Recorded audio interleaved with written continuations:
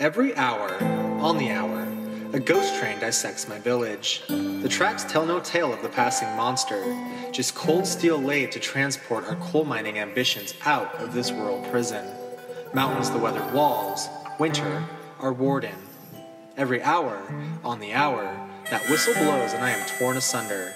Whiskey, my warm conductor. I drink to the moon, I drink to the stars, and each night I sleep like a tie and have ambitions to die. Two cold beams running along the crook of my neck and the bend in my knee.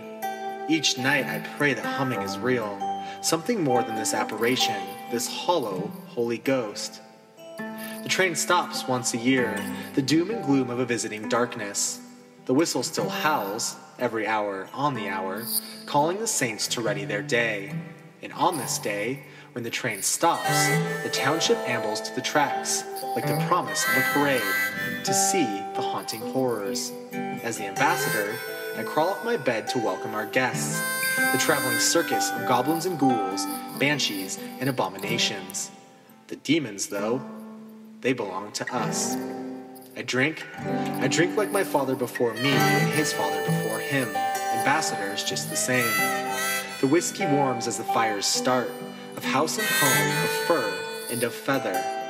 The watchers wail to the plunder and curse, tears accompanying an occasional cough. The coal mine will kill us all, like our fathers before us and their fathers before them. But suffering works slow. Tonight we watch the devil's dance. Everyone looks to me, the man who sleeps with the trains, as if I could stop the charades. But this isn't my mess, this isn't my fight. I only go there to the tracks to die, if only in my dreams. I look to the faces, the gluttons, the greedy, the ones who touch where their hands do not belong. These are the neighbors, the councilmen, the ones who watch our children. These are the faces that strip the land, rape the resources, and take without tribute. These are the faces that have forgotten animals still kick and scream when we slit their throats and drain their blood. I drink to forget, I drink to forgive. I cough with them, but I do not sleep with them. They do not know I choose these tracks because I have more to fear than goblins and ghouls, banshees and abominations.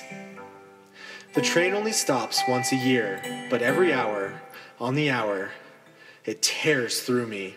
I go to sleep at night, alone and asunder, the nape of my neck on the cold of the beam, knowing fully well there are far worse things in this world to have nightmares about.